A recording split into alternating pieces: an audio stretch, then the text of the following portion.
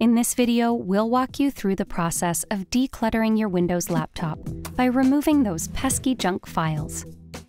To start off, let's clean up your Windows by running Disk Cleanup to get rid of unnecessary files. Press the Windows and S keys, type Disk Cleanup, and press Enter to launch the tool. In the Files to Delete section, mark the checkboxes next to the items you want to remove. For a closer look at the files set to be deleted, click on View Files. After reviewing your choices, close the window. Then click on Cleanup System File and select OK. You'll see a pop-up on your screen to permanently delete those files.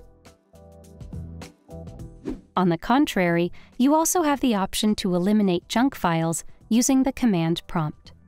Click the Windows icon and search for Command Prompt in the search bar. Press Enter to open it, and type the command displayed on the screen. Press Enter. Voila! Bid farewell to those cluttered junk files.